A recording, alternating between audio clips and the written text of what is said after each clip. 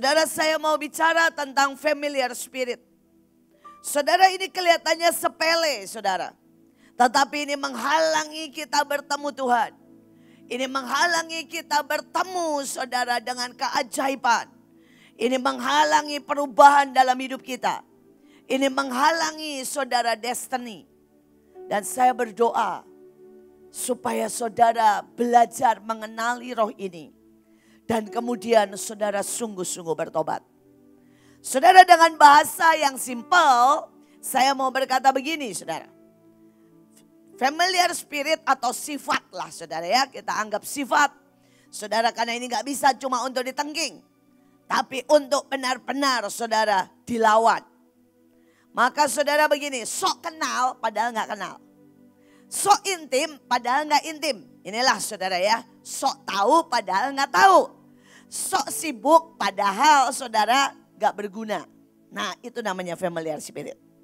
Oke sekali lagi ya, familiar spirit itu simple tapi saudara belajar kenali. Sok tahu tapi nggak tahu.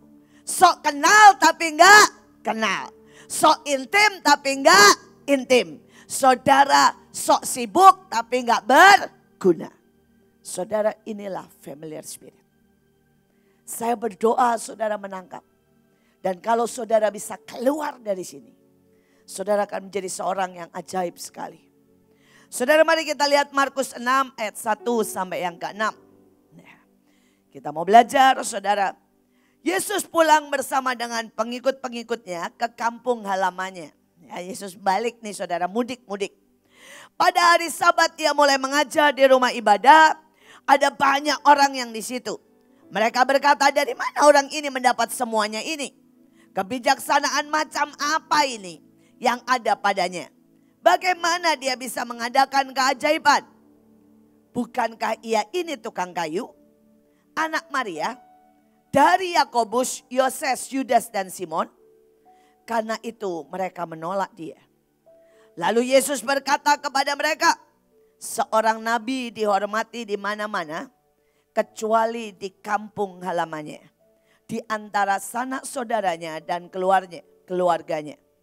Di tempat itu Yesus loh saudara tidak dapat berbuat sesuatu keajaiban pun. Satu pun gak bisa kecuali menyembuhkan beberapa orang sakit dengan meletakkan tangannya ke atas mereka. Ia heran, mereka tidak percaya. Saudara statement saya dari yang pertama ini, saudara pertama ya. Saudara tadi kenali saudara gejala dalam hidup kita. Sok tahu padahal nggak tahu, sok kenal padahal nggak kenal, saudara ya. Kenali itu. Saudara sekali lagi ini contoh nih contoh. Ada banyak orang merasa kenal saya. Saudara ada hater itu ngomong begini, saya kenal Boyin. Tahu aja enggak saya saudara. Saudara ini spirit, ini sifat. Saudara beberapa orang di mana yang berkata begini, saya tahu maunya Buin. Saudara, dan dia saudara ya, melakukan yang saya enggak mau. Ini sifat saudara. Sok kenal, padahal enggak kenal. Sok tahu, padahal nggak tahu.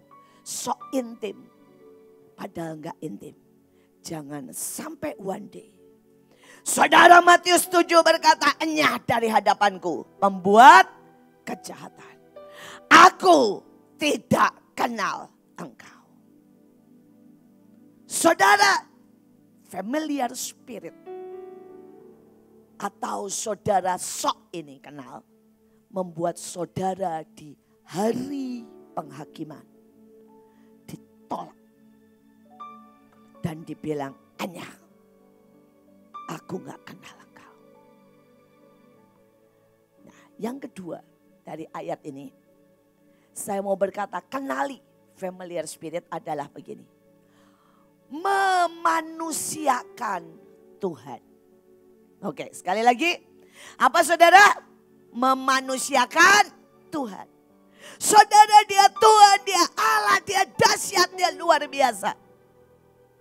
Saudara tetapi sering kali karena ketidakpercayaan kita.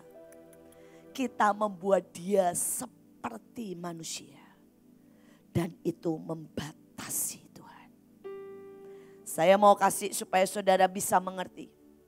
Saudara hari itu saya diundang ke satu orang, satu keluarga saudara. Saudara dan keluarga ini maksudnya, maksudnya baik saudara. Dia mau masak saudara ya sendiri, dia mau menyajikan saudara segala sesuatu. Dia merasa kenal, dia merasa kenal. Dia dengar kalau saya suka masakan Sunda. Dia dengar kalau saudara saya suka lalap. Dia dengar saudara ya kalau saudara saya ini penggemar makanan. Jadi makanan kecil dan sebagainya. Saudara dan dia punya sekolah juga kecil. Tapi begitu saya masuk dia bilang begini sama saya. Bu ibu jangan ngapa-ngapain. Ya, ibu cuma boleh ngobrol dan ibu jangan ngapa-ngapain. Saya pengen menjamu ibu. Maksudnya baik. Tapi kemudian saudara maaf ya, saya ini penggemar makan memang benar. Tetapi saya itu lidahnya gawat saudara. Saya tahu semua makanan enak saudara. Jadi kalau saya makan gak enak walaupun saya basa-basi bilang iya enak gitu ya. Sebenarnya saya standarnya sangat tinggi, sangat tinggi. Ibu Ruth itu tahu kalau dia sediain sup aja ya, nggak clear, kaldunya nggak kerasa, semua sayurnya saudara masuk kecepetan aja. Atau saudara sayur itu dimasak jadi satu di sup nggak dipisah. Ya, itu baunya saya langsung gini, Ruth, dan dia tahu. Saya tuh serewel itu aslinya, saudara ya. Why? Karena saya ini anak saudara, ibu yang juara masak se-Indonesia bertahun-tahun. Yang kedua, saya anak dari ibu yang punya catering bertahun-tahun. Yang ketiga, saya bikin catering di Belanda bertahun-tahun. Yang keempat, saudara ya, saya sering diajak makan dari warteg sampai hotel. Ini persoalan. Dan dia sibuk masak. Saya bilang, boleh nggak saya ke dapur bantuin? Atau lihat, Nggak boleh. Saudara dan ujungnya dia keluarkan semua masakan. Ya jelas ya, saya coba berkata enak, itu sopan santun saya lah. Tapi kalau mau saya jujur, nggak ada satupun yang saya bisa nikmati. Itu bukan selera saya. Itu bukan taste. Dan dia masak itu salah semua. Saudara cara dia ngulek sambal salah. Cara dia bikin sup salah.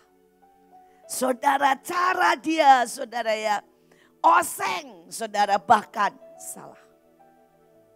Tapi saya nggak bisa apa-apa. Saya dibatasi. Saudara dan saya pengen bantu soal sekolahnya. Dan dia bilang apa?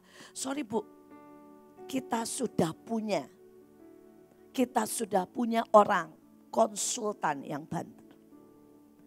Saudara biar bagaimana, saudara sekolah kita usianya sudah 21 tahun lebih. Saudara biar bagaimana, saudara kita sudah dapat semua izin dan penghargaan demi penghargaan. Biar bagaimana kita sudah buka saudara 10 sekolah di seluruh Indonesia. Saudara dan hari itu saya mau bantu sekolahnya, nggak boleh. Hari ini maaf kata saudara, sekolahnya cuma bertahan dua tahun. Dan ditutup bangkrut dan gagal. Why? Orang yang dapat kesempatan, saya ke rumahnya loh. Orang yang dapat kesempatan, di mana saya menawarkan diri. Tapi dia batasi ruang gerak saya. Cuma di ruang tamu. Hidupnya gak berubah. Hidupnya hancur. Demikianlah banyak orang. Saudara engkau hari ini undang Tuhan cuma di gereja. Saudara undang Tuhan cuma urusan rohani. Saudara tidak pernah undang Tuhan untuk urusan bisnismu. Saudara tidak pernah undang Tuhan untuk keluargamu, untuk hidupmu, untuk semuanya. Saudara nggak pernah nanya, jodohku siapa? Pilih sendiri. Itu kebodohan. Saudara nggak pernah nanya, kalau pagi bilang hari ini aku melakukan apa Tuhan? Saudara saya itu belajar dari orang tua saya dan itu turun dalam hidup saya, turun dalam hidup Joshua. Saudara bayangkan ya ibu saya ini kalau mau pertandingan, ibu saya kalau mau pertandingan masak, sampai resep aja nanya Tuhan. Sampai menghias nasi kuning aja tanya Tuhan. Dan dia selalu juara. Saudara ayah saya dokter sebelum jadi hamba Tuhan Saudara obat itu nanya Tuhan.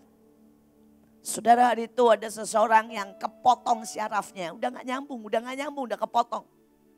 Secara dokter udah gak bisa diapa-apakan. Tuhan cuma bilang, kasih dia vitamin C. Kasih dia vitamin E. Dua itu aja. Dan saudara sembuh total. Saudara dan itu turun dalam hidup saya. Saudara saya sekolah Saudara itu tanya Tuhan. Saudara salah satu ujian yang paling saya nggak bisa itu mekanika saudara buat jembatan. Saudara jadi itu saudara ujiannya itu mengerikan sekali. Saudara suruh ngitung, saudara semua saudara ya berapa besarnya betonnya, berapa besarnya saudara ya cor-corannya, saudara besinya dari sebuah jembatan yang gurunya semau-maunya gambar. Jadi kadang-kadang gurunya gambar jembatan yang bentuknya gelombang. Sudah tahu kan ya ada jembatan yang bentuknya gelombang. Saudara ada jembatan yang bentuknya lurus-lurus begini. Ada jembatan yang bentuknya cuma portal begini saudara. Saudara memang kita boleh buka buku. Semua buku boleh dibuka. Semua teori boleh buka saudara. Tapi dia kemudian bilang hitung. Persoalannya nih persoalannya saya ngaku jujur makanya saya nggak mau bangun jembatan. Mudeng aja enggak saudara. Saya ini mudeng aja enggak saudara. Kalau lihat jembatan melengkung begitu, saya udah nggak ngerti. Ini ngitungnya gimana, mau di depan ada rumus banyak, saya nggak mudeng. Saudara tahu kenapa saya bisa lulus dengan baik? Saya ini lulusnya baik loh saudara, nggak ngepas saudara. Rata-rata delapan loh saudara, gini-gini lulusnya baik saudara ya. Saya ini sampai mau ujian saya cuma nanya gini, Tuhan, Tuhan, Tuhan. Saya nggak mudeng Tuhan. Mau bagaimanapun saya nggak mudeng. Benar-benar nggak masuk di otak saya. Otak saya pas-pasan. Dan Tuhan bilang, ambil ujian tahun sekian. Dan Tuhan bilang, apalin sampai angka-angkanya. Saya ambil ujian tahun segitu. Saya apalin sampai angka-angkanya. Dan besoknya keluar persis itu sampai angka-angkanya. Saudara dan saya lulus sembilan. Sekali lagi cuma ngapalin soal. Ngapalin jawaban. Jadi jangan pernah suruh saya buat jembatan. Karena nggak masuk di otak saya saudara. Tapi saya lulus. Saya jodoh juga seperti itu. Saudara anak saya itu Joshua dan Stephen berkali-kali sakit. Dan saya nggak pernah bawa ke dokter. Saya nanya Tuhan obatnya apa. Kalau Tuhan bilang biarin, saya biarin. Saudara hari itu Joshua seluruh mulutnya itu saudara sariawan. Seluruh mulutnya. Saudara dan saya tahulah dokter bilang antibiotik ini infus apa pun gak bisa makan gak bisa minum. Tapi saya tanya Tuhan. Dan Tuhan bilang gini beli obat jamur. Saudara bisa bayangin gak obat jamur Saudara itu nggak boleh masuk mulut apalagi anak kecil masih umur 2 tahun. Tapi Tuhan bilang beli obat jamur. Masukin mulut. Lelet. Saudara tahu dalam satu hari sembuh total. Itu hidup saya. Ini hidup saya. Hidup saya cuma mendengar dia dan melakukan tepat seperti yang Tuhan mau. Tapi ada begitu banyak orang merasa Tuhan cuma tahu saudara soal apa? Soal agama. Engkau sedang membatasi Tuhan. Saudara ada banyak tuh orang berkata Tuhan nggak tahu seleraku. Tuhan nggak tahu masa depanku. Tanya tuh Joshua tuh. Kawin dipilihin, tanggal dipilihin. Saudara suruh buat anak, jamnya dikasih tahu. Saudara ya, enak loh saudara. Dan hari ini menikmati segalanya. Segalanya. Saya suka guyon sama Joshua bilang, kalau enggak nurut nih. Misalnya ya Tuhan bilang gini, menikah 999. Terus dia bilang begini, enggak bisa, belum siap. Terus bilang, nantilah, ya males. Saudara hari ini udah enggak bisa kawin gede-gedean, betul kan? Saudara, miss satu tahun, hilang semuanya. Kesempatan itu hilang. Saudara waktu Tuhan bilang begini, selesai menikah ke Israel buat anak. Saudara kalau hari itu Joshua bilang, enggak saya mau nikmati dulu satu tahun, baru setelah itu punya anak. Saudara, maka hari ini udah nggak bisa buat di Israel, made in Israel. Nggak bisa saudara. Misael itu made in Israel, saudara ya. Nggak bisa. Tapi karena terlalu banyak kita membatasi Tuhan. Saya mau berkata satu kali lagi. Jangan buat anggaran, jangan buat peraturan, jangan buat saudara apa pun perencanaan berdasarkan otak kita, dompet kita, kemampuan kita, cara kita. Tapi mari belajar buat anggaran, buat proyek, buat perencanaan, buat saudara masa depanmu dengan cara Tuhan, waktu Tuhan, pikiran Tuhan maka saudara akan lihat yang ajaib terjadi. Saudara bayangkan ini Renat Bongke. Saudara Renat Bongke itu tiap bulan bikin KKR saudara. Dan KKR-nya setiap bulan habis 15 miliar. Saudara dan itu 40-50 tahun yang lalu. Jadi nilainya kira-kira kalau sekarang 150 miliar per bulan. Saudara dan orang kan berkata, gila duit dari mana orang Afrika miskin-miskin. Saudara mereka akan berkata orang Jerman pelit-pelit. Saudara orang kan berkata dia sangat miskin. Saudara Renat Bongke itu miskin. Saudara kemudian rumahnya sederhana. Tapi dia selalu berkata saya tidak pernah buat perencanaan dengan dasar dompetku kekayaanku, kemampuanku, maksudku, mauku. Never. Saya buat karena Tuhanku. Dompetnya Tuhan, rencana Tuhan, maunya Tuhan. Dan saudara, selama lebih dari 10 tahun, dia bisa buat. Dia bisa buat setiap bulan KKR. Saudara dengan 15M setiap bulan. Siapa di sini yang bisa menangkap dompetnya Tuhan? Saudara tahu dompetnya Tuhan gak pernah saudara habis? No limit, amin. Saudara no limit, amin. Tapi persoalannya saudara hitung baik dompetmu. Saudara hari Senin Joshua bersaksi. Dia buat rumah kecil. Dan seperti biasa mamahnya suka manas-manasin. Sampai dia kesel saudara. Mamanya berkata saudara ya, kenapa nggak nanya Tuhan? Dan kalau Tuhan mau buat rumahlah sebesar yang Tuhan taruh. Saudara dia tidak punya uang dan saya nggak kasih uang saudara buat rumahnya. Sekali lagi, sekali lagi. Buat berdasarkan maunya Tuhan dompetnya Tuhan buat saudara. Amin. Setiap orang Tuhan punya jatah. Saudara saya punya anak banyak. Nih, anak saya di sini maupun yang saudara yang jasmani. Saudara semua orang tahu. Saya selalu bagi-bagi dompet saudara ya. Ini sekian, ini sekian, ini sekian. Saudara Tuhan juga sama.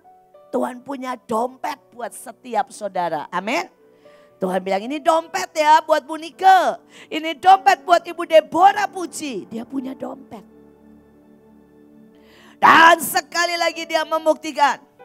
Saudara selama empat bulan kita bagi sembako. Selama empat bulan kita gerak saudara. Dan bahtera, ini ngomong bahtera semua ya.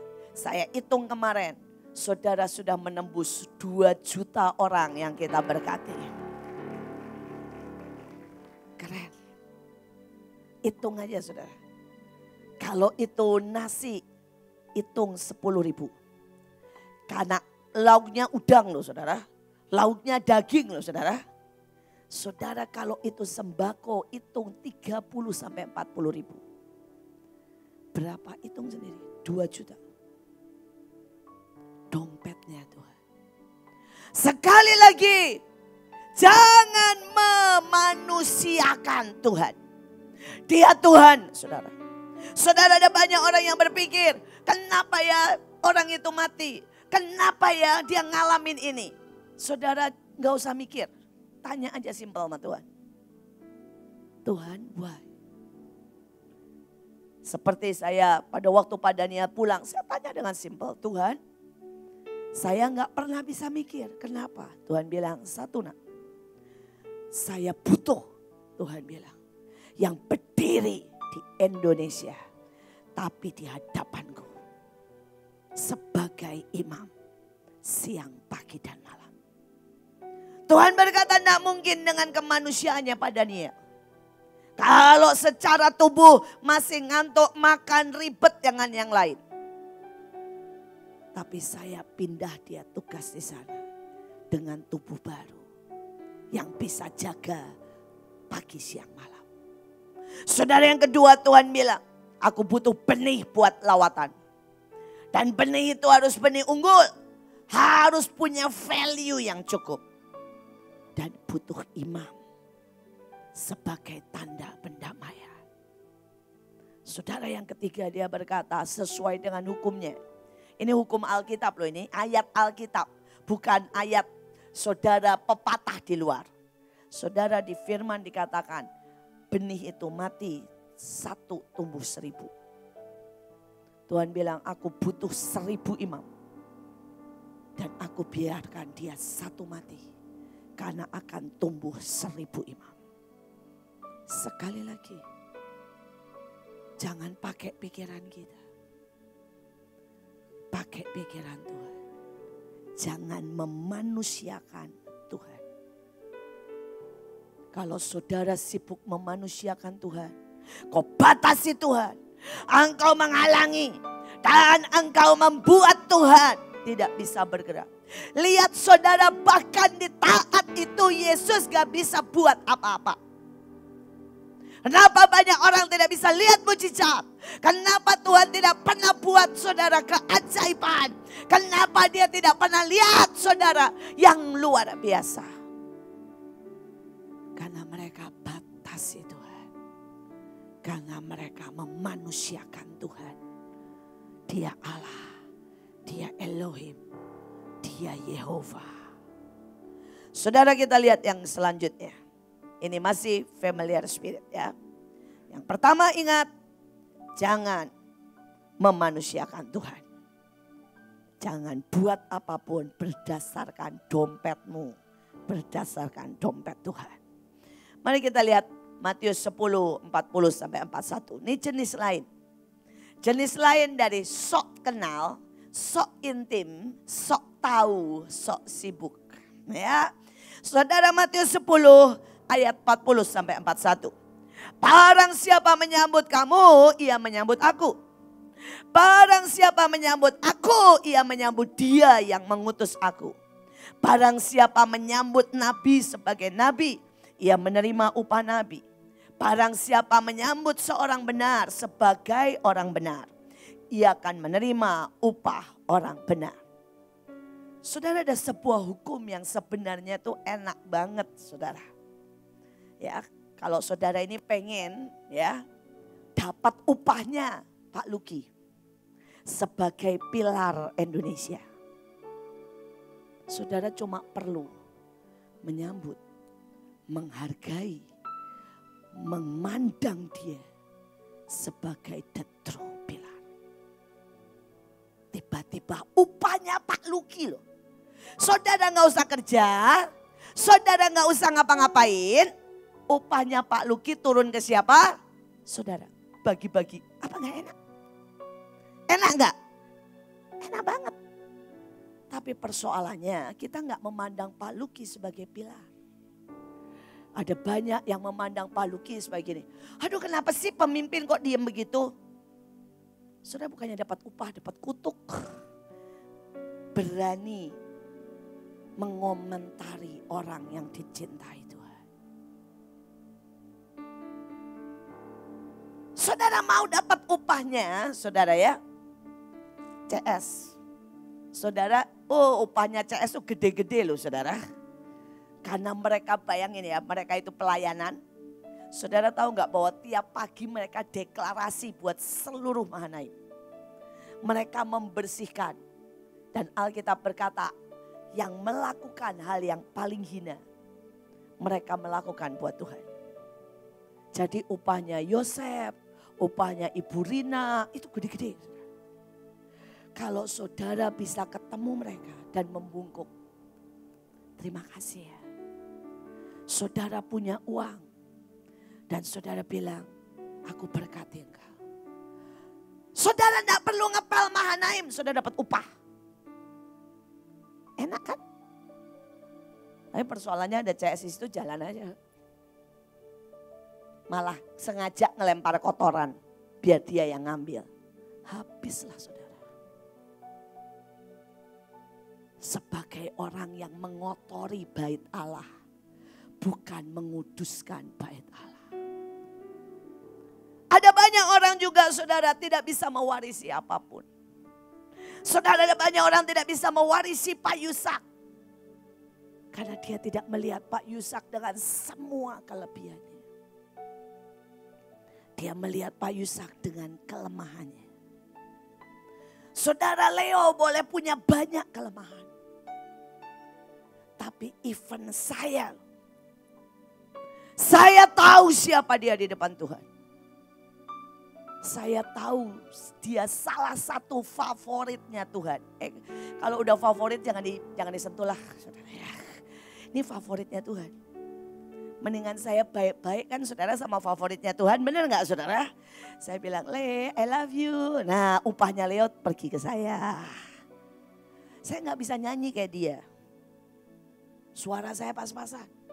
Tapi tiba-tiba saya dapat upah penyembahan. Saya bilang, wih Kenapa di rumah saya di surga ada kecapi besar, ada upah penyembahan. Tuhan bilang, itu loh nak, waktu kamu menghormati Leo, dapatlah upahnya. Kecapi besar terbang ke rumahmu. Apa yang gak? Kenapa saudara sangat banyak orang gak bisa belajar? Saudara saya ini belajar dari Ibu Ruth. Setiap kali loh saudara. Karena saya tahu ketajamannya. Saya tahu pisaunya. Saudara dia itu menguasai pisau jasmani dan rohani. Saudara di dapur dia menguasai perpisauan. Saudara tanya suaminya, di rumah dia punya koleksi pisau. Kalau lagi iseng jangan ke rumahnya. Why? Kalau dia lagi iseng kerjanya apa saudara? Ada tempat buat dia latihan lempar pisau dengan segala macam jenis pisau. Saudara bisa bayangkan. Makanya kalau saya ngobrol sama dia, ngobrol saudara woman to woman kan gak bisa man to man ya. Saudara ya, saya juga pakai pisau saudara. Nah sekali lagi, saya melihat sampai saya ini ya saudara, sering banget datang dan berkata begini. Jangan pikir yang datang itu Ibu Ruth konseling sama saya. Itu dulu, 20 tahun yang lalu. Hari ini saya konseling sama Ibu Ruth. Oh, saudara. Saya berkata, Ruth, lihat dari sudutmu.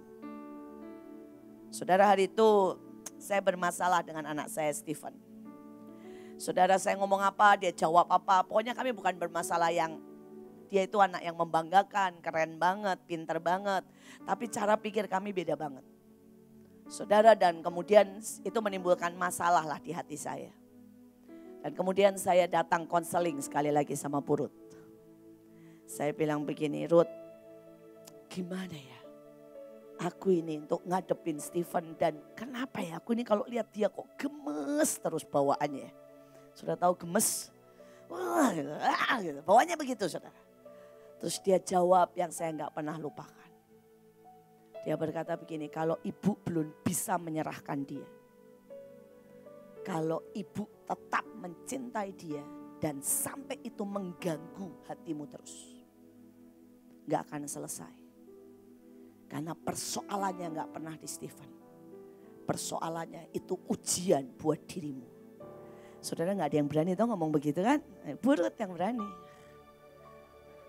Cuma beliau itu yang berani. Dan itu kayak pedang saudara ya. Langsung nancep plus saudara. Saya bilang ya soal saya. Dia enggak, enggak cuma itu, dia bilang begini. Ibu bangga dengan dua anak ibu.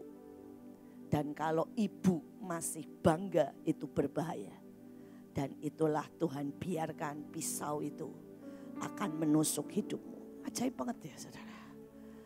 Sampai saya bilang, ada. Saudara. Tapi berapa banyak yang melihat dia? Cuma sebagai orang yang kasar. Sebagai orang saudara yang keras. Berapa banyak orang berpikir dia ngomong begitu karena dia nggak sayang. Berapa banyak dari kita berani berkata, it's true. Itu kebenaran Ruth. Saya bilang, persoalannya di saya. Itu kebenaran. Saya bangga dengan anak saya itu kebenaran. Saya nggak bisa menyerahkan anak saya di tangan Tuhan. It's true. Sangat benar. Sekali lagi, saudara. Kalau saudara hari ini mau keluar dari familiar spirit, sok tahu. Saudara ada banyak sok tahu dan berpikir hidupnya baik-baik aja. Dia berani ngomong, menghakimi banyak orang. Dia berani berkomentar. Dia berani menyebarkan isu.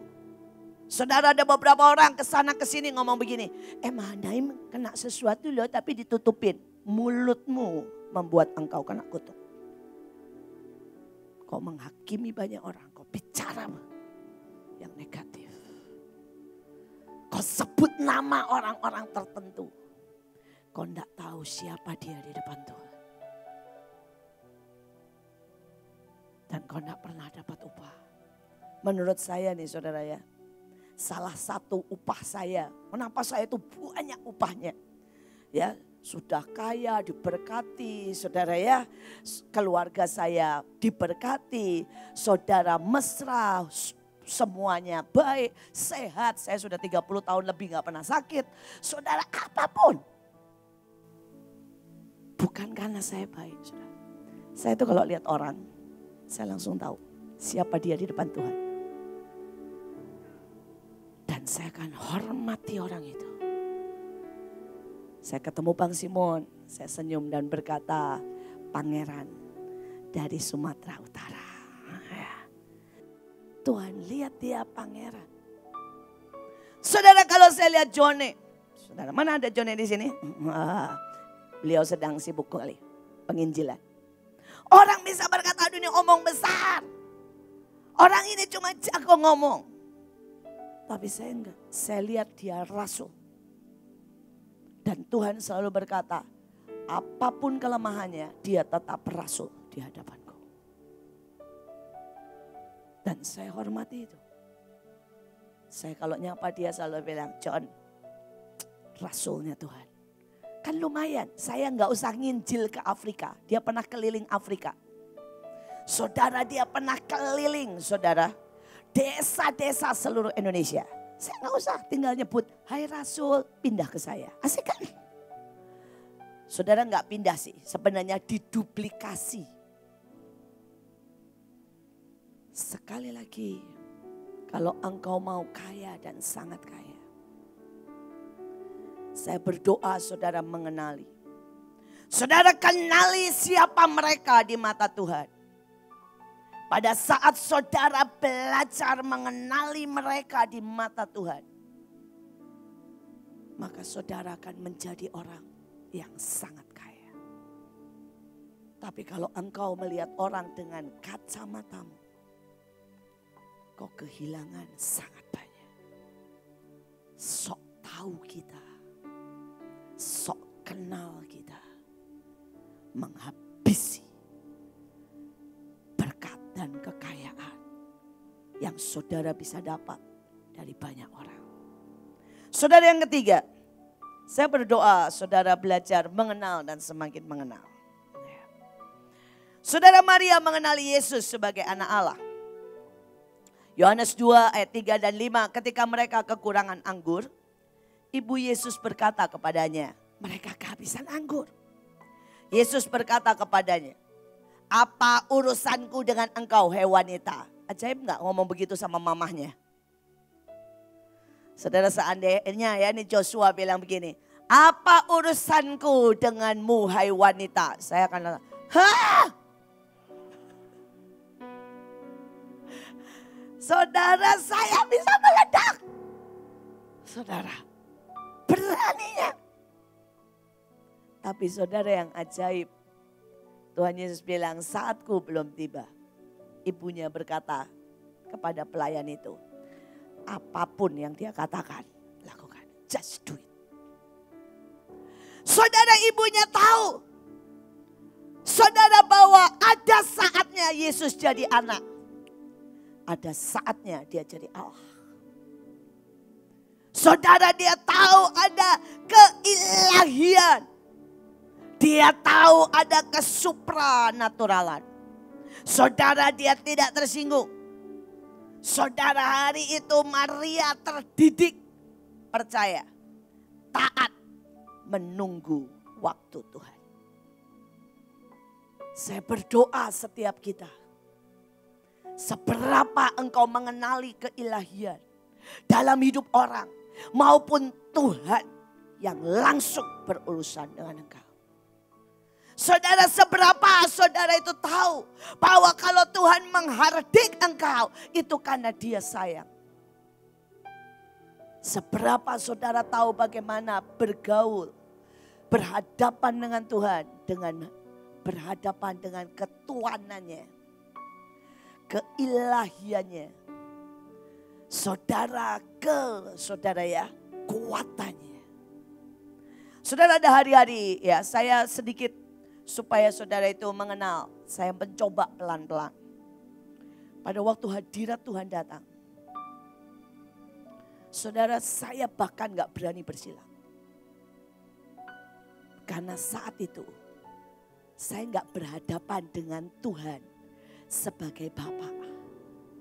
Tuhan sebagai gembala. Tuhan sebagai kekasih. Tapi saya berhadapan dengan Tuhan sebagai Raja. Begitu saya tahu tuh. Saudara ya, dari kalau saudara dia datang sebagai apa tuh saudara harusnya kenali. Ada hari di mana dia datang sebagai kekasih. Biasanya saya akan menari kalau begitu. Saudara, tapi ada saatnya dia datang jadi raja. Tadi dia datang sebagai imam besar. Dia tadi datang tidak sebagai raja, tidak sebagai saudara bapak. Dia tadi datang sebagai imam besar. Saudara saya langsung ambil talit dan saya tersungkur. Banyak orang gak mengenali. Mari mulai kenali Tuhan. Dan pada waktu itu kalau dia datang sebagai raja, saudara ngobrol, habis saudara. Habis. Kalau dia datang sebagai saudara raja dan saudara tertidur atau bersila, habis. Kau tidak dapat apa-apa. Kau tidak dapat apa-apa. Saudara ada hari di mana dia datang dan mencurahkan cintanya. Dan dia mungkin berkata seperti Ahasveros, minta apa nak? Apa aja, aku kasih. Tapi di saat seperti itu, saudara, saudara malah berkata begini, ah itu mau buat orang lain, saya nggak percaya. Hilang. Saudara saya masih ingat tadi itu di sini dibilang, siapa yang belum punya rumah, Tuhan akan memberi engkau rumah tanpa susah payah. Saudara dan ada beberapa yang langsung nangkep. Salah satunya Joshua, tapi yang kedua adalah anaknya Bu Mary. Itu ada Bu Mary di situ, betul ya Bu? Anaknya Bu Mary. Saudara dan dia bersaksi sama saya. Dia bilang itu rumah dibeliin Tuhan dalam tanda kutip. Dia dapat, dapat. Bayangin yang punya rumah tuh ngomong gini, harganya seharusnya sekian. Buat kamu diturunin saudara. Di korting itu enggak satu dua juta. Satu dua M. Korting kok satu dua M. Saudara, why? Hanya pada saat Tuhan bilang, dia datang jadi raja. Dia bilang, minta apa aja. Saudara tinggal berkata, amin. Dapat. Dapat. Tapi ada yang pada saat itu diberi. Saudara berkata gini, nggak percayalah, mana mungkin. Lewat. Saudara mari bersikap seperti Maria. Saudara dia tahu menempatkan diri. Taat. Saudara tunduk. Percaya. Dan tahu waktu. Tahu kairos. Tahu waktu. Maka saudara akan mendapat yang ajaib. Saudara ada sebuah waktu yang terus dan terus Tuhan bicara ke saya. Saudara dan Pak Daniel juga menekankan itu ke saya. Saudara Pak Yusak, saudara ya berkata saudara. Bahwa lawatan pasti terjadi. Dan itu lamanya, ya kalau sudah pernah dengarkan khotbah dia yang lama dikatakan gini. Seperti waktu Yesus ada di bumi. Pada waktu Yesus mulai melayani. Jadi sekitar berapa? Tiga tahun. Bukan pada waktu Yesus kecil saudara ya. 33 tahun. Enggak saudara. Sekitar tiga tahun. Saudara dan kemudian Pak Daniel berkata pada saya. Saudara dia berkata dan Tuhan meneguhkan. Tuhan bilang begini. Seribu hari nak. Dihitung tanggal mulai 1 Juli. Ini adalah kairos. Untuk saudara lari untuk saudara masuk dalam pintu lawatan. Untuk saudara tarik yang supranatural turun. Untuk saudara kejar sampai saudara melihat yang ilahi. Sampai saudara menari di atas sebuah gelombang saudara. Keilahian dan lawatan. Waktu kita seribu hari. Sesudah itu akan jauh lebih susah. Sesudah itu kita tidak tahu apa yang terjadi antikris ataupun saudara bencana. Tapi seribu hari adalah saat. Saya berdoa tidak ada satupun yang melewatkan lagi. Jangan sampai seribu hari lewat karena apa? Saudara sibuk takut. Aduh takut kena virus, aduh takut ketularan. Saudara ada lagi yang seribu hari, saudara sibuk berkata, Aduh saya rasanya badan kok gak enak. Saudara yang satu lagi seribu hari. Saudara sibuk berkata saya cari duit. Seribu hari dihabisin dengan melo. Aduh gimana ya saya gak dicintai. Saya gak dikasihi. Aduh aduh aduh aduh aduh aduh aduh. Jangan bebal dan bodoh. Salah satu ayatnya dikatakan orang bebal tidak tahu waktu. Saudara saya berdoa saudara tahu seribu hari. Seribu hari. Akan menjadi satu momen. Pintu semua terbuka. Gudang semua terbuka. Fasilitas tersedia. Kuasa diturunkan. Semua senjata tersedia. Tuhan bilang gunakan waktunya seribu hari. Saudara kita lanjutkan. Saudara bagaimana soknya ini ya, sok tahu, sok kenal, menghalangi banyak hal. 2 Samuel 3 ayat 21 27. Abner berkata kepada Daud, "Biarlah aku berdiri dan pergi untuk mengumpulkan seluruh Israel bagi tuanku raja, supaya mereka membuat perjanjian dengan tuanku dan tuanku memerintah sesuai dengan segala yang dikehendaki hatimu." Lalu Daud menyuruh Abner pergi. Ia pergi dengan damai. Ketika Abner kembali ke Hebron, Yoab mengajaknya ke tepi. Ke dalam gerbang untuk bicara diam-diam. Kemudian menikam di perut hingga mati untuk membalaskan darah Asael, saudaranya. Saudara nama Yoab itu keren banget loh saudara.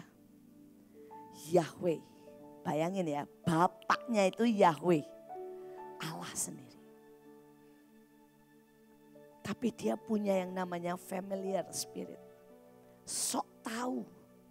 Sok kenal sama bapaknya. Sehingga dia tidak pernah punya hubungan dengan Allahnya. Sekali lagi, saudara Yoab berpikir karena namanya. Oh Tuhan itu Bapak saya. Dia Bapak yang baik. Tapi dia tidak pernah kenal. Tidak pernah tahu. Saudara, Papa saya punya anak tiga yang jasmani ya. Tapi adik saya yang paling kecil itu anak yang paling disayang papa. Pak Samuel itu paling disayang oleh ayah saya. Dan dia merasa papa. Sejujurnya dia tidak pernah kenal. Hati, sifat, value, berharganya. Papa saya. Saya heran saudara dengan orang-orang yang berani menyela. Dan saudara menganggap remeh. Saya ini kalau disuruh sama ayah saya ya, satu kata. Saya akan selesaikan lebih dari yang dia minta. Saya nggak akan pernah bilang nggak bisa, nggak mungkin, nawar. Enggak. Karena saya tahu siapa Allah saya dan siapa papa saya. Saudara saya itu berusaha mengenali Pak Yusak sampai saya dengerin seribu kali istilah saya. Semua ceritanya. Dan saya ambil pelajaran dari semuanya. Satu demi satu. Saudara hari ini masuk mobil saya akan ada kaset, akan ada USB Pak Yusak, Pak Agung dan sebagainya. Why? Saya belajar, saya belajar, dan saya belajar. Saya berdoa saudara harus sampai belajar. Saudara saya itu kalau sama Tuhan, ya ini saya sama papa, sama Bu Nani, sama Tuhan. Saya itu banyak sekali berkata diam dan berkata begini, ajari aku Tuhan. Merenung. Kenapa ya papa begini? Misalnya nih saudara, dia lihat orang, datang konseling. Terus dia usir, saudara. Keluar. Pokoknya Tuhan bilang, enggak, pulang. Saudara, saya akan langsung belajar. Why? Saya enggak bilang begini, wih papa saya ngusir ya jahat ya. Atau berkata, wih papa saya guala. Saya langsung akan belajar. Apa? Why? Kenapa? saudara dan saya akan hadapkan ke Tuhan. Dan Tuhan berkata, satu, orang itu mencari manusia. Dan ayahmu tahu itu. Dia nggak mau dijadikan tempat gantungan untuk manusia. Dua, orang itu cuma pengen didengarkan. Saudara ada banyak orang konseling atau pergi sama saya, sebenarnya cuma satu, pengen didengarkan. Dan saya mau bilang sama saudara, kalau saudara ikut sama saya atau ketemu saya dengan hati sudah pengen didengarkan, nggak usah datang. Karena berarti saudara nggak kenal saya dan nggak tahu menempatkan diri. Bahkan saya itu kalau ikut ayah saya dulu ya, Bu Iren tahu deh. Nggak pernah saya berani saya yang cerita banyak. Kecuali ayah saya tanya saya akan diam dan mendengarkan semuanya. Nyerap. Nyerap. Saya bisa tiga jam loh saudara. Diduduk di meja makan. Dan cuma dengerin beliau. Sembari mata saya sangat tajam. Ya. Beliau pengen apa? Beliau pengen yang manis. Beliau pengen yang pahit. Beliau pengen nih duren. Beliau pengen ini. Saudara saya sebelum beliau minta. Saya sudah sodorin. Pak, Papa mau ini enggak? Dan Bapak saya selalu bilang begini. Kok kamu kayak bisa baca pikiran Papa sih? Saudara kalau saudara mau mempelajari seseorang. Saudara itu bahkan bisa tahu. Kalau dia pengen yang manis. Itu ada gayanya saudara. Kalau dia pengen yang asin itu ada gayanya. Tapi banyak orang gak pernah mau belajar. Nih, ini salah satu nih contoh. Hari itu Joshua masuk saudara ke green room. Terus ada anak buahnya bawa soto. Saya langsung gini, anak buahnya ya. Gak belajar sama sekali. Saudara dia sudah ikut dua tahun, tiga tahun. Dan masih gak belajar bahwa Joshua itu gak suka soto. Dia akan makan. Tapi itu bukan dia suka. Dan anak buahnya yang bagian nyediain dia makan. Sudah tiga tahun nggak tahu. Itu buat saya hmm, parah. Parah. Saudara. Saudara ada orang-orang juga yang nggak tahu, nggak kenal saya saudara. Ya, sudah nyiapin saya minum bertahun-tahun. Datang bawa pokari. Terus sebenarnya saya mau bilangnya, saudara. Saudara mungkin bilang ini, Bu kenapa sih Bu rewel banget? Begini ya, kamu nggak kenal Tuhanmu, nggak kenal pemimpinmu, kamu nggak bisa kenal Tuhan. Sesimpel itu. Kamu nggak tahu gayanya, ya orang-orang di atasmu. Kamu nggak bisa kenal Tuhan. Kamu cuma sibuk dengan dirimu. Never, never saudara menangkap yang sejati. Karena itu Alkitab berkata jangan sok kenal. Membuat engkau kehilangan banyak hal. Sangat saudara. Saya ajak pergi beberapa orang buat jadi WL saya. Wah saya udah pengen meledak gitu saudara. Karena dia bahkan nggak tahu saudara lagu apa yang saya bisa flow, masuk in di situ. Sekali lagi, kau mau naik. Ya. Perhatikan pemimpin. Itu enggak demi kebaikan pemimpinmu enggak saudara. Sejujurnya saya enggak butuh saudara. Maaf ya, saya butuh dalam hal pelayanan dan sebagainya. Tapi kalau misalnya nih saya ajak pergi, saudara ikut mobil saya atau saudara melayani saya. Maaf ya, sejujurnya sebenarnya itu ngerepotin. Saya ini orang yang sangat suka sendiri. Saya ini suka banget saudara ya, sendiri di mobil sama Tuhan. Saya suka banget di hotel sendiri sama Tuhan. Saya ini suka banget saudara. Mungkin buat orang lain aneh. Makan sendiri itu saya suka saudara. Karena buat saya gini, saya bisa lakukan apa saja. Saya bisa nikmati apa saja sesuai dengan selera saya. Bahkan nih saya ini kalau bikin Indomie, saya suka saudara. Kenapa? Itu bisa campurannya exactly yang saya mau. Saya punya campuran khusus lah. Bahkan Ibu Ruth tidak bisa bikinin Indomie seperti yang saya bikin itu harus ada campuran dari mie Korea, mie Thailand. Saudara itu waduh, saya ini ribet, percayalah aslinya saya itu ribet banget. Saudara, harus ada jeruknya. Saudara dan kalau ada orang kasih saya Indomie dicampur saudara toge, hmm, saya bisa nggak jadi makan. sebenarnya, sebenarnya loh saudara ya. Tapi percayalah di depan saudara saya akan makan. Percayalah. Itu sopan santun. Tapi bukan saya bukan saya. Saudara, nah sekali lagi. Apa gunanya saya ajak saudara? Apa gunanya kita itu mengerti pemimpin? Itu pelajaran mengenal. Itu pelajaran saudara keintiman.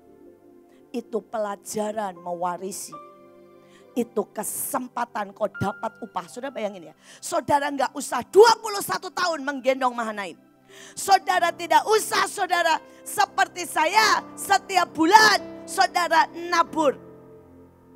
Mau jujur atau pura-pura? Kalau jujur saya nabur tuh ratusan M, eh ratusan juta. Saudara setiap bulan. Saudara, saudara nggak perlu seperti itu. Saudara cukup menangkap dan melayani saya tepat. Saudara terima upah saya, apa nggak enak? Tiba-tiba saudara naik, bam, bisa ngerti? Tapi banyak orang nggak ngerti. Banyak orang nggak ngerti. Dan mereka pada waktu ketemu saya cuma curhat. Saya begini, begini, begini. Udah saya udah pengen, uh, gitu ya. Engkau tidak sedang mengambil dan mewarisi kau sedang mendatangkan kutuk buat dirimu. Karena Alkitab ayatnya bilang begini. Jangan bicara dengan orang bebal. Jadi kalau saudara berlaku bebal, saudara kena kutuk. Bem. Saya udah gak boleh bicara sama saudara. Tuhan bilang gak usah, gak usah, gak usah. Itu menarik, menyedot, mengotori. Sekali lagi, Yoab lebih dari itu. Saudara Yoab ini, saudara adalah keponakannya Daud. Saudara dan dia melihat Daud dengan mata kekaguman tapi juga penilaian. Saudara dan dia mulai tahu semua kesalahan Daud. Saudara saya rasa Yoab sering tidur sama Daud, tahu Daud ngeces. Tahu Daud ngorok, saudara. Tahu Daud rewel, saudara ya. Saudara tahu, saudara waktu Daud saudara jatuh dengan Betseba. Wah tahu pada waktu Daud memperlakukan Uria. Saudara dia tahu Daud bermasalah dengan Absalom. Dan tiba-tiba dia nggak bisa melihat Daud. Seperti Tuhan melihat. Tapi dia melihat Daud dengan semua kemanusiaannya. Akibatnya saudara, Yoab bahkan mati dan tidak masuk pahlawan. Saya berdoa, saya berdoa saudara. Roh ini mengerikan sekali. Saudara banyak anak-anak yang akan melihat orang tuanya dengan berkata, dia kan salah. Saudara ini familiar spirit. Semua orang ya menghormati Pak Agung. Tapi banyak orang dekatnya, termasuk istrinya, melihat kesalahannya, bukan keajaiban. Dan banyak kali saudara apa yang dilihat Tuhan itu berbeda dengan apa yang dilihat saudara. Saudara mungkin buat beberapa orang, saudara, saudara cuma lihat begini, wah orang itu ya, sok sibuk. Padahal dia sudah tidak tahu, jam 3 pagi dia bangun nyembah Tuhan. Dia nabur saudara Tumen. Saudara kenapa Pak Daniel begitu dihormati Tuhan padahal khotbah nggak bagus. Tahukah saudara bahwa dari dia kecil sampai dia mati. Dia sering kali tidur yang benar-benar tidur. Terlentang begitu ya. Mungkin cuma 2-3 jam semalam. Dia akan berlutut. Dia bangun empat kali, dia akan berlutut empat kali. Dan kadang-kadang dia ketiduran. Saudara dalam posisi berlutut. Orang berkata, ya doa ketiduran. Dia lakukan seumur hidupnya. Saya cicitnya, saya tahu persis. Saya tahu persis. Sekali lagi, saya tahu persis bagaimana dia serahkan semua uangnya buat pelayan. Saya tahu persis bagaimana care-nya dengan anak buahnya. Saya tahu persis bagaimana dia tangisi anak-anaknya yang berontak. Dan itu semuanya nggak ada yang pernah bisa tahu. Tapi hari ini saya cuma berkata jangan jatuh seperti Yoab. Sampai kapan pun saudara tidak akan pernah mengerti. Saudara detru seseorang. Karena ada banyak rahasia orang itu dengan Tuhan. Kecuali Tuhan menyingkapkan. Kalau saudara di bawah, biar bagaimanapun saudara tidak akan tahu keputusan saya. 100%. Saudara saudara kan cuma melihat satu, ya istilah saya satu kotak. Saya nggak pernah bisa melihat satu kotak karena saya di atas. Saudara bayangin unit di Mahanaim, saudara itu unit ya, ada 30. Jadi kalau saya ambil keputusan, saya ambil keputusan berdasarkan 30 unit, ini pasti. Bukan berdasarkan satu unit. Saudara kalau saya ambil keputusan bukan berdasarkan Indonesia. Karena pasukan yang daftar pasukan. Saudara-saudara bisa lihat line di tempat saya. WA di tempat saya. Saudara itu minimal lebih dari 20 negara. Saudara saya punya hubungan dengan begitu banyak instansi pemerintah jadi kalau saya mengambil keputusan dan punya berita, bukan karena saya dengar hoax. Tapi karena saya dengar yang bahkan tidak akan pernah keluar. Persoalannya, apakah saudara bisa percaya? Apakah saudara bisa percaya? Kita teruskan. Saudara, kita lihat yang kelima. Ya. Tidak bisa mewarisi. Ketika Ham yaitu ayah Kanaan melihat bahwa ayahnya telanjang. Dia keluar dan memberitahukan kepada dua saudaranya. Saudara sampai kapan pun engkau akan melihat. Saudara kekurangan dalam tanda kutip kelemahan dari orang-orang di dekatmu. Tapi reaksimu menentukan engkau naik atau engkau turun. Saudara sampai kapan pun. Ya sampai kapan pun. Sekali lagi saudara. Hari itu saya punya pemimpin. Dan pemimpin saya ini baru tiga tahun Kristen. Jadi dia benar-benar gak bisa saudara. Untuk mimpin rapat ataupun untuk khotbah. Reaksi saya bisa dua. Saya bisa bilang, eh dia nggak bisa, dia nggak tahu loh. Maka jadilah saya Ham. Dan kata Ham, saudara ujungnya dari Ham, anak. Saudara tahu ujungnya di downgrade jadi apa? Yang dibuang, yang diusir, yang dipotong. Dari kata anak jadi yang dibuang, yang diusir, yang dipotong. Saudara dan hari itu saya bisa berkata begini, dia baru tiga tahun, dia nggak tahu. Saudara hari itu begitu saya tahu pemimpin saya di Belanda. Saudara dia tidak bisa mimpin rapat, dia baru tiga tahun Kristen. Saudara kalau mau rapat, saya beresin, saya satu-satu datengin. Saudara di sana ada kurang lebih enam unit, saya datengin satu-satu.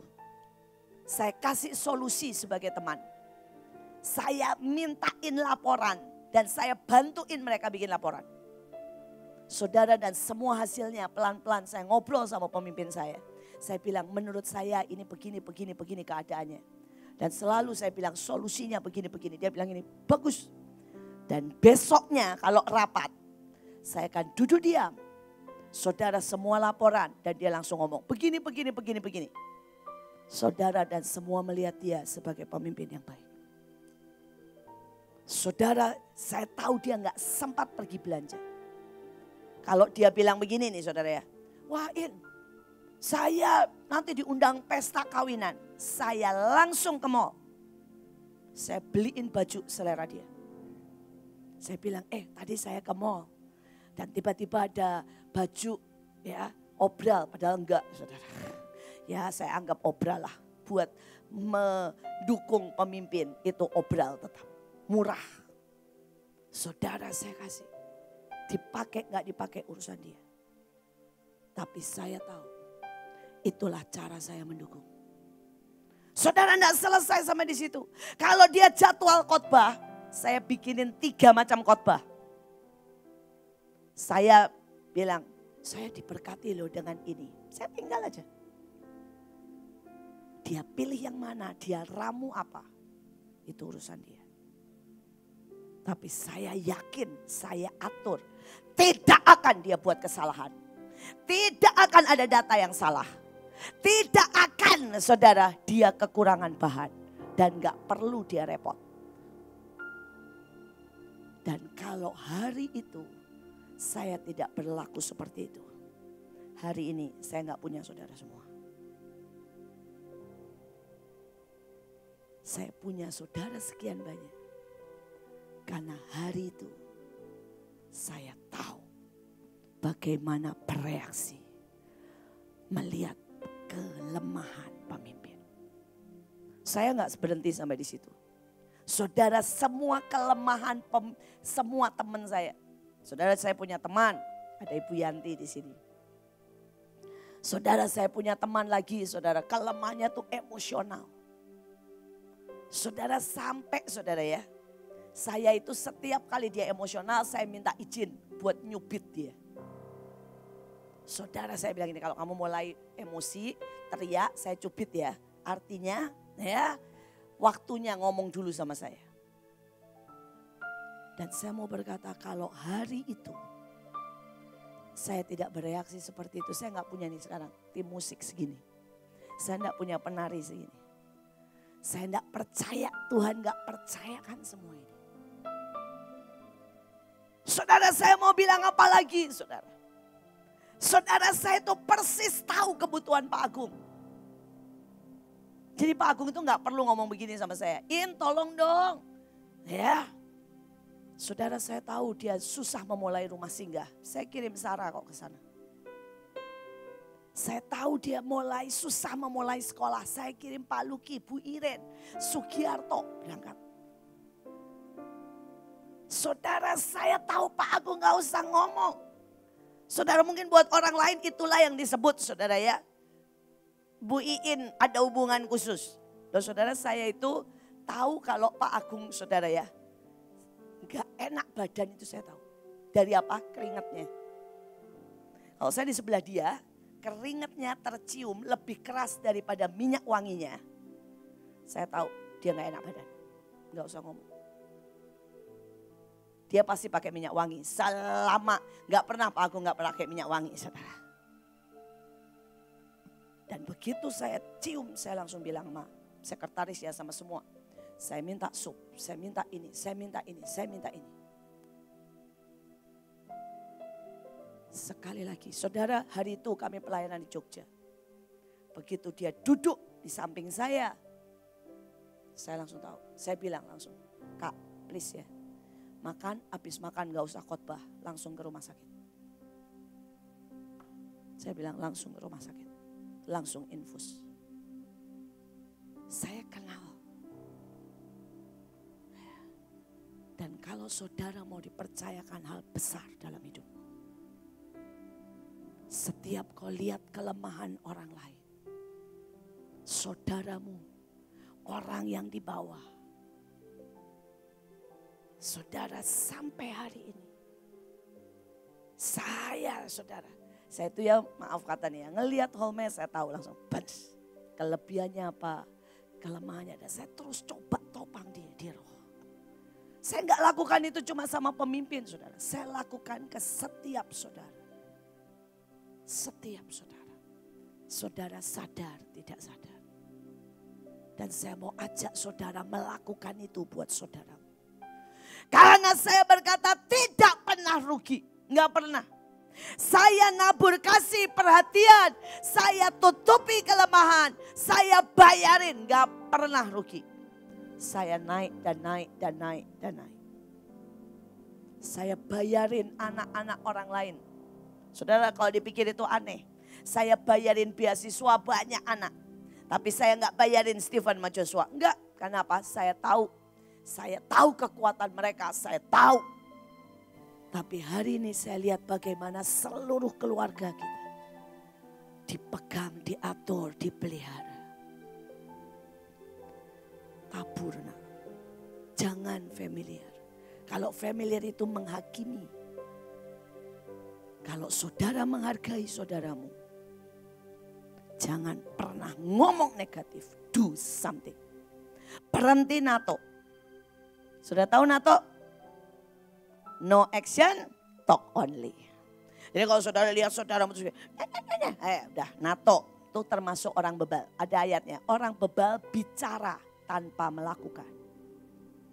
Nah, jadi begitu saudara mau ngomong nih tentang saudaramu, ingat NATO, NATO. Saudara bukan NATO. Saudara orang yang do something. Bahkan meletakkan hidup untuk saudaramu naik. Percayalah ujungnya nggak lari ke mana-mana. Ujungnya semua balik ke siapa? Saudara. Yusuf meletakkan hidupnya buat saudaranya. Yusuf men berkorban buat saudaranya. Yusuf bayar. Saya mau tanya, yang paling kaya Yusuf atau saudaranya? Ya Yusuf lah. Yang paling diangkat tinggi Yusuf atau saudaranya? Ya Yusuf. Saudara Daud lakukan semuanya buat Saul. Saudara Daud lakukan event saudara. Buat orang yang mau membunuhnya. Saya mau nanya. Yang diangkat tinggi yang untung Daud atau Saul? Ya Daud lah. Saya mau nanya Samuel dengan Eli. Samuel ini lihat Eli makan. Guendut. Nggak dengar suara Tuhan. Tuhan ngamuk. Saudara Samuel pernah curhat gak ke orang lain tentang Eli? Never. Saudara Samuel dipanggil tujuh kali. Datang nggak? Datang. Tiap kali dengar Tuhan, dia bilang, Bapak, oh nggak Bapak, tidur. Sebentar lagi, Bapak, lihat ada ndak sih sikap Samuel. Satu pun tidak menghormati Eli. Berani bantah Eli. Nggak ada. Sekali lagi, yang untung Eli atau Samuel? Samuel. Cuma orang bodoh yang bereaksi bodoh. Cuma orang bodoh yang berkata begini, oh dia marah, saya boleh marah. Oh dia begitu berarti nggak sayang saya. Oh liatin, pemimpin saya telat, saya telat. Cuma orang bodoh yang bereaksi seperti itu.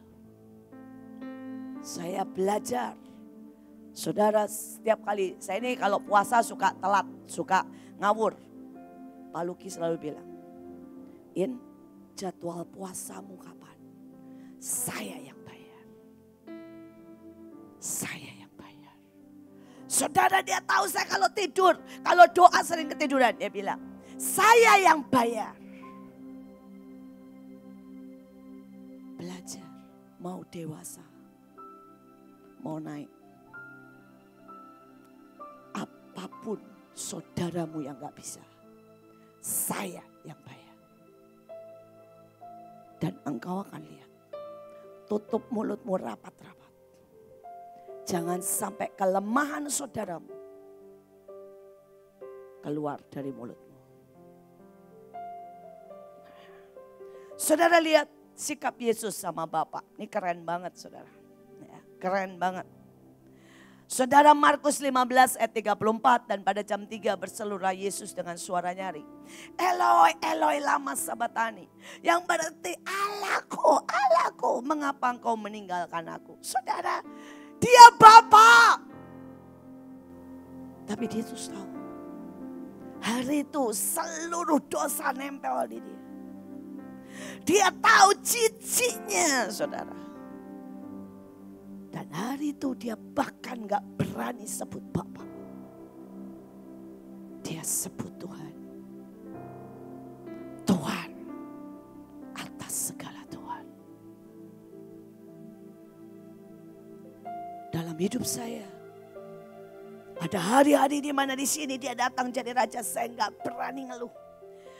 Gak berani panggil dia Bapak, saya akan langsung saudara. Menganggap diri saya anjing yang cuma boleh menjilat kakinya. Saudara dalam hidup saya, saya belajar. Belajar sungguh-sungguh menuhankan dia. Dalam hidup saya saudara kalau Tuhan ngomong dua kali. Saya nggak berani bantah. Saudara hari itu ini cerita saudara awal Mahanaim. Ada anak pemulung.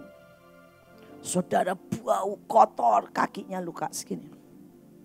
Dan hari itu Tuhan ngomong begini, cuci berlutut di depannya dan bersihkan kakinya. Spontan saudara, spontan ngomong begini, aduh Tuhan bau, kotor. Dan Tuhan ngomong begini, dia anakku. Langsung saudara, saya berlutut, saya bersihin semuanya. Karena buat saya, saya nggak berani. Saudara. Gak usah Tuhan ngomong dua kali buat saya. Kalau Tuhan udah ngomong dua kali. Aduh itu udah masalah buat saya. Ini kalau saya ya, tekad saya adalah begini. Lirikannya cukup saya mengerti. Senyumnya saya mengerti. Tatapannya saya tahu. Kelingnya saya baca. Saudara bahkan saudara hatinya terdengar sangat jelas buat saya. Jadi kalau dia harus ngomong dua kali buat saya itu fatal. Saya akan langsung saudara bilang ampun Tuhan, ampun kebebalanku. Saudara itu saya lagi ada di bawah tuh di hall Mahanaim. Ada seseorang keluar dari penjara cari pekerjaan. Saudara, wih, dek. Saudara ya, kotor, dekil, Saudara, wih pokoknya muka mengerikan. Saudara dan Tuhan langsung ngomong begini, berlutut di depannya. Minta maaf buat semua yang menyakitkan. Saya baru ngomong gini, ah, karena saya tahu saya ogah, uh, dan saya lihat Tuhan diem. Ini Tuhan gak ngomong, lakukan gak Tuhan diem. Saya langsung, enggak Tuhan, enggak ada, enggak suka. I do it dengan sangat sukacita. Karena saya tahu Tuhan saya. Bahkan berapa kali ketika saya lakukan dengan saya cuma menghela nafas. Dia bilang ini, gak usah in, gak jadi. Gak usah. Kalau kamu gak mau, kamu gak suka, kamu gak segenap hati, gak usah, gak usah. Setiap kali saudara saya bilang Tuhan, kalau engkau suruh aku, itu adalah kehormatan. Kalau engkau mau jalan dengan aku, kalau engkau minta sesuatu, it's precious thing buat saya. Jadi kalau sampai daging saya menghela nafas dan males, ini istilah saya, saya pengennya ambil pedang, tancap ke diri saya. Gila lu. Gak tahu diri. Saya akan maki pakai firman. Saya nggak maki pakai yang lain, saya akan maki diri saya pakai firman. Tahukah bahwa orang yang tidak berguna itu tempatnya di neraka? Bisakah kau tahu Iin? Kalau kamu sudah tidak bisa nangkap suara Tuhan. Berarti engkau bukan lagi domba. Saya akan maki dengan semua firman. Saudara kalau Tuhan bilang sesuatu misalnya dia bilang gini. Nah aku pengen ada acara ini. Kalau hati saya nggak nyaut ya. Hati saya flat. Oh saya maki diri saya. Goblok gila bego. Apa kamu mau? Tuhan kasih ke orang lain. Sekali lagi. Saya mau saudara ngerti. Belajar kenali Tuhan. Yesus saja nggak berani kurang ajar. Yesus nggak berani sok intim bapak, bapak, bapak. Enggak. Enggak. Pagi hari ini, jangan biarkan roh ini membuat engkau menjadi ham. Dibuang, dipotong, disingkirkan. Jangan biarkan roh ini membuat engkau jadi Yoab. Saudara, menjadi orang yang Daud berkata bunuh. Jangan sampai roh ini membuat saudara jadi Lucifer. Jangan sampai roh ini membuat saudara jadi Datan, Korah dan Abiram. Saya berdoa saudara kenal Jangan tuhankan dirimu, emosimu. Hari itu buat Yoab yang penting dendamnya. Yang penting perasaannya. Roh ini membuat begini ya. Dia memanusiakan Tuhan. Dia menuhankan saudara, emosimu, dirimu, pengetahuanmu, otakmu, keadaan. Bisa ngerti? Saya berharap saudara ngerti. Saya berharap saudara ngerti. Saudara saya akan kita akan tutup. Ini bukan saudara pakai emosi. Ini bukan khotbah yang tuh saudara nangis-nangis bilang ini, Tuhan tolong. Enggak, enggak, enggak, enggak. Didik dirimu. Didik hatimu. Didik telingamu. Didik mulutmu. Saudara-saudara nggak perlu lakukan seperti saya. Tapi saya itu beneran saudara. Saya kalau ngomong salah buat Tuhan ya. Saya pulang tuh saya pukulin mulut saya. Dasar bodoh. Saya bilang bertobat.